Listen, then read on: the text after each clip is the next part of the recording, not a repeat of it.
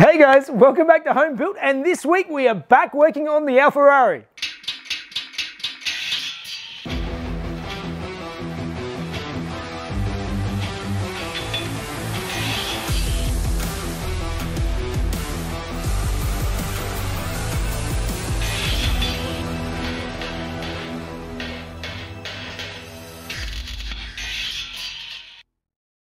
All right, guys, thanks for joining me again. Those who were watching last week will have seen that I redid my bonnet bulge, and overall, the uh, the impression seems to be uh, that it's much better. But ultimately, I think it's much better, and that's uh, what really matters. I am very happy with the result, and uh, yeah, it's uh, it's something I can live with now. really, really was struggling before. But if you guys missed it, I'll put a link up above uh, and you can catch up. And if you haven't subscribed, uh, hit the subscribe button, it does help us out. Now, uh, I just want to cover a couple of the, uh, the reoccurring comments that were coming through. Um, first one that I think seemed pretty obvious, and I have mentioned it before, that, uh, that this hole is going to have a Lexan cover in it, so you will be able to see the, uh, the engine through it. Uh, I thought that was pretty obvious, but some people obviously didn't realize that. Um, there were lots of comments of people saying that I should um, put ducts going into the bonnet. You should never have any air entering into the bonnet line. If anything, you'd have air coming out of the bonnet. The only reason you would ever put air going in is if you're actually going into an airfield or something like that. There is definitely no room for that, and it also, I, am not a fan of the look of that. Um, or, or, you could have it like a WRX going into an intercooler. It's actually going in for that. But for cooling just around the engine, that's a terrible idea. The best, if anything, you would let the air come out of the, the, the the, near the back of the bonnet and let air flow through because you otherwise you're just going to create a, uh, a turbulent area and create drag. It's not a good idea. Um, the other recurring comment was that uh, this bonnet bulge is now very tight to the engine, and it is. Um, there is a bit of space there, but not a lot. The engine is going to move around a bit, but um, those who've watched and seen the engine mounts that I built, the cotton reel mounts that are uh, uh, polyurethane mounts, they're not going to allow the engine to move very much at all. Uh, there's about 10 mil of gap in there, which is about all the gap I've got in lots of places on this engine. So if the engine's rocking around more than 10 mil, uh, it's going to be touching stuff. It's just this engine is so big and it's so tight. There's just no room anywhere. So um, yeah, I'm not overly concerned about that. If it becomes an issue, then we can you know deal with things. Anyway, it's time to get to work. And today I thought we would uh, go back into the engine bay and start doing a few other bits and pieces. Okay, so moving back into the engine bay, I have mentioned before, but basically my plan with this engine bay is to try and make it as neat and clean as possible. So as when you open the bonnet, basically all you're going to see is this nice, pretty Ferrari engine sitting in the middle and everything else is pretty much clean and clear. So there's no other clutter in the engine bay. I am also a fan of symmetry and you might have seen that uh, when I put in my dry sump oil tank that I built into the front guard in here, um, I've got the oil fill location right here in uh, the corner of the engine bay. And now I need to fit a washer bottle. So um, this car didn't have anything with it when I got it, but uh, I believe a lot of them were a, uh, a bag that sort of sat in the uh, side of the engine bay over this side here. And A, I don't have it, and B, I don't want anything else in the engine bay. Uh, so I think I'm going to build a new washer bottle, and I think I might make the fill point matching this on the other side over here. So, as many of you are used to by now, I'm having microphone issues again, but I'm going to repurpose this radiator expansion tank I have and make it into my washer bottle. And I've gone over to my Audi wreck and I've pulled out the washer pump, so let's get into it.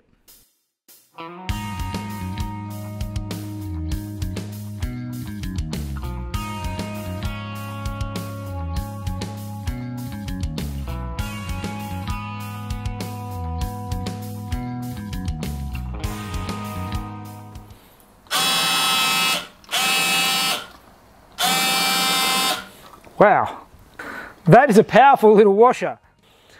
So let me just run you quickly through what I did to get this going. I used a cup of boiling water. if some of you don't realise, that's a good way to uh, get tight hoses to get a bit more flex. And uh, yeah, once I put it in the boiling water, I managed to, to flare it out enough to get it over the fittings I needed to get to. And now I've got the basic system that works. I know this tank is going to work, so now it's time to start getting it ready to put into the car, which means a bit more modifying. All right, so I've uh, just temporarily taped the, uh, the washer bottle motor to the side of the tank, and it's gonna go Inside here, somewhere like that, the filler location is right here, so I'm gonna have to run a, uh, I'm gonna have to make up an aluminium pipe to go through to join it up. And uh, I think that will be a nice, neat washer bottle solution. So let's start uh, punching a hole through first, see if I can match it up with the other side, get it nice and even and symmetrical. Then we'll start making the hole meet the tank.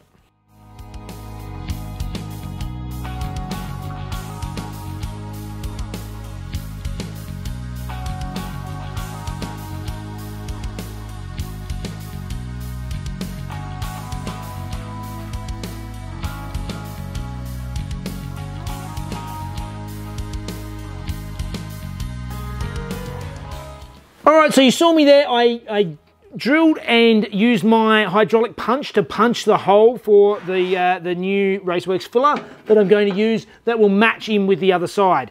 And um, I recently bit the bullet and switched to a battery die grinder. It's not sponsored, but uh, so much better than the air tools. Like, like, I found, even with a reasonable size compressor, that the uh, the the air would just just run out and it would get it would die really quickly. Air tools use a lot of air pressure, and uh, this is such a big difference, such a game changer. No cord, obviously, and uh, yeah, it works much better. So now I've moved on to mounting the tank. So I'll bring you down under here and I'll show you what I'm doing. All right, it's hard to see, but the uh, the tank is in here now, and I've uh, drilled one hole on the far side. It's actually pivoting on that now. But this other side here, I need to build a tab to go to that bolting spot. So I'm going to bend this up now and weld a captive nut into it and make my mount that I can weld onto the inside frame of the car.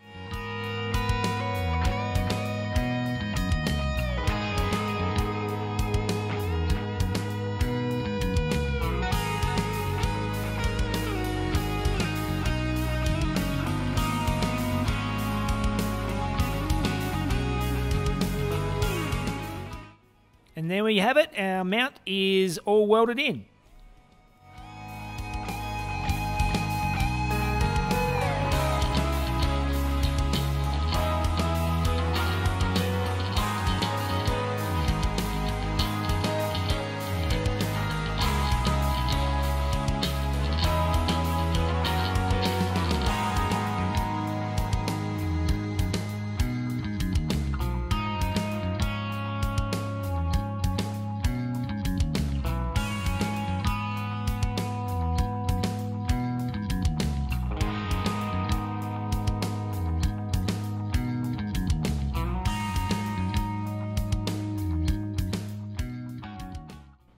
So you can see here that I have taped three pieces of my pipe together to make my inlet for my washer bottle and uh, it's all in place now so you need to take it out again, tack it together, cut a hole in the washer bottle and connect it all up.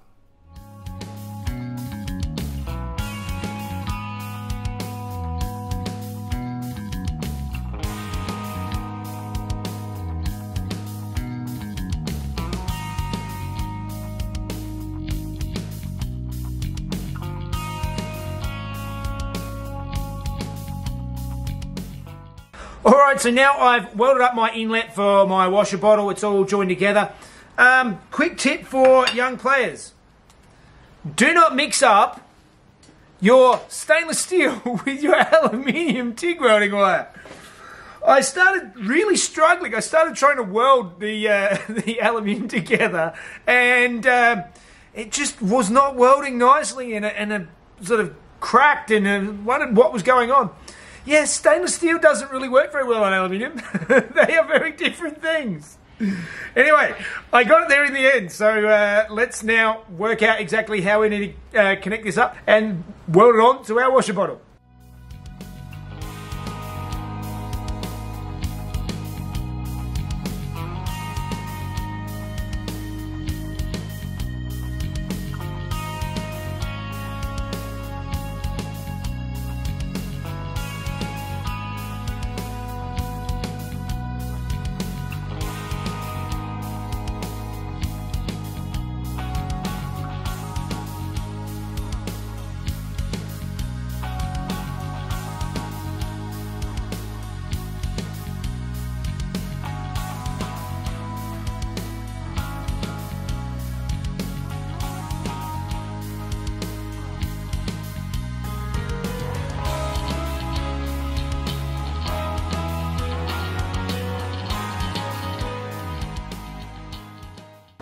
So a little bit of playing around, and I have my new inlet uh, for my washer bottle. So let's put the washer bottle back in the car and see how it looks.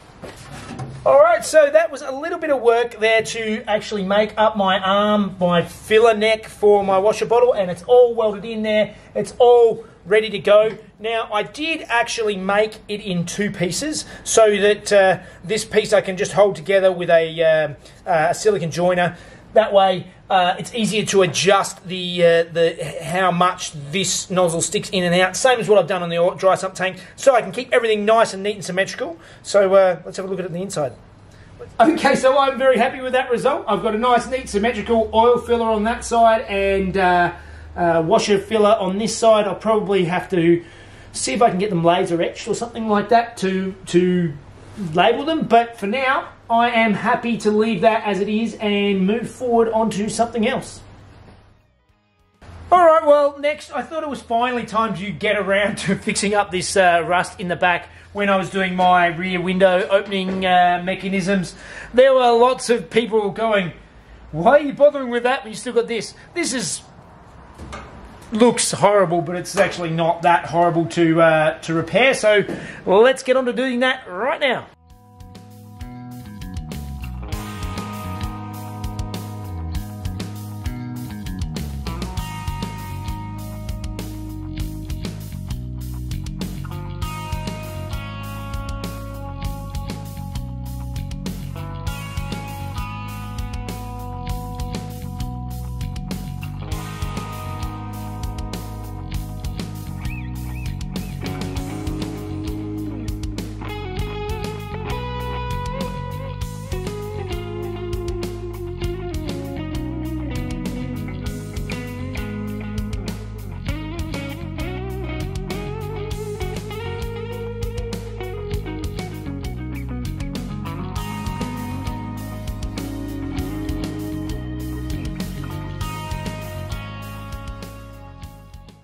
All right, so I've, uh, as you've seen, I've put this first patch in, and it's a reasonably straight section. So I've, uh, I did use the shrinker stretcher a little bit to get a little bit of shape there, but uh, I need to work uh, a bit harder up this top corner to get a piece in. At first, I was going to try and do one piece to fit the whole thing, but it'd be too straight and wouldn't match the curves. And even as it is, I can't do a three-layer piece, as in uh, with two folds, because you can't stretch the bit in the middle. So that's why I've done this angle bit first, and then I'll do a flat panel over the top to go with that. So I'm going to get this in a shrinker now and curve this edge to, to mimic this curve along here. It's not going to lean a lot, but a little bit will uh, will just give it that curve to match in with what's there. So basically what this thing does is it's got uh, some fine little jaws inside. Actually, I'll bring out the stretcher. So these are the jaws inside the stretcher. So you can sort of see they've got some little lines on them, and they're actually uh, two pieces. They're uh, they're held together. And as as this clamps down, this pulls. This one will will grab the metal and then pull it apart. And these ones grabs the metal and squishes it together. So by squishing this edge together, you can actually see that it's actually put a little curve in it. It's not huge, because uh, as I said, I don't want a, uh, a, a very large curve, but that is almost what I need. Just adding that little bit of curve in it, rather than being a straight bend, gives us more of the natural shape that the car had there, and uh, the patch will look much, much better in the end. One more run through this and then we'll put on the car.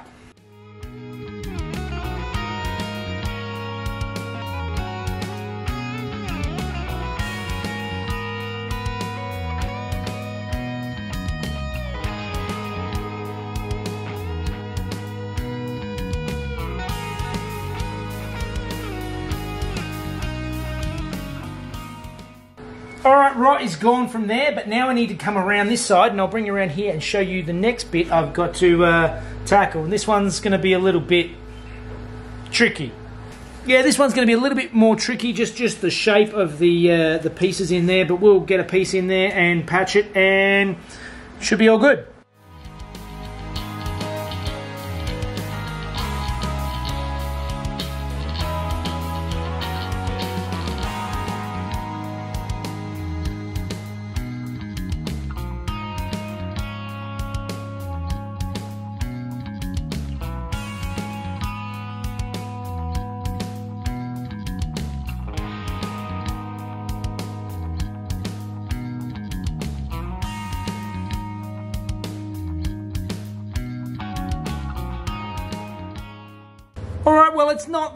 Prettiest repair, but uh, it's all nice and solid now. This whole pillar is all done.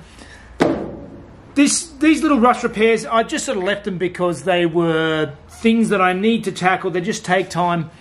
And that has taken all my time today. So I think that means it's time for Fun Facts with Mrs. Jeff.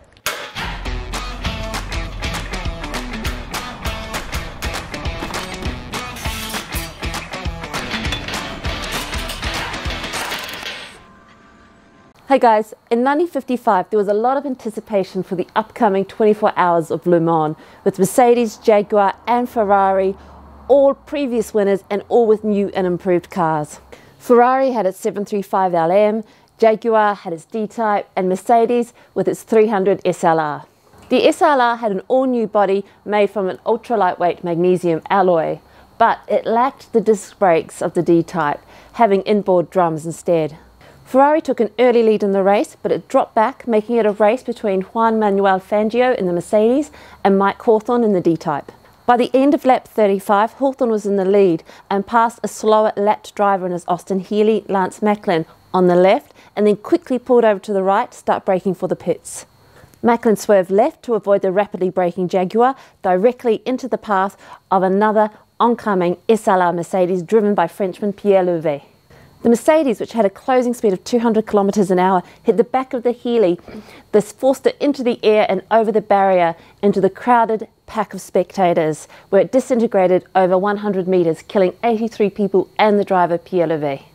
The car, being magnesium, burned for almost 24 hours as the rescuers and the firemen were not trained for that type of fire. To this day, it is the single worst disaster in motor racing history and sparked a huge change to motor safety procedures moving forward. All right, well, that is a uh, another one down. I'm I'm quite happy with what I did on this uh, washer bottle, but after actually uh, reaching out to Raceworks today, they actually make a washer bottle very similar to that now that uh, they haven't put on their website yet, but they have finally have it available. So it might have saved me a bit of work, but uh, either way, that I still would have had to make that uh, all meet up. I like the symmetry of having those two caps there. Yeah, just nice, neat engine bay is what I'm going for. And uh, yeah, rust repairs. There's still a few bits and pieces to do around the place, but uh, we are getting closer by the day. We sure are. It's exciting. So, um, as always, Please like, subscribe, and let Jeff know what you think. He loves reading your comments. He's reading them. I hear him go. you always give me yeah. yeah. Anyway. Yes. So thanks, thanks for uh, yeah commenting. Uh, yeah, always, always happy to see them. So uh, Yeah. all right, have a good one, guys. We'll See you see you guys. next time. In 1955, there was a lot of anticipation for Jaguar with its D-type and the. What would I say? You said Jaguar. What is it? Jaguar. Jaguar. Jaguar is what Americans say. Jaguar. It's a Jaguar. Not American. The SLR had an all. Can you stop doing that, please? It's quite distracting. Lightweight magnesium. The SLR had a. The SLR had an. Oh, stop it. the force of the. damn it. Lance Healey, Macklin and his Healey.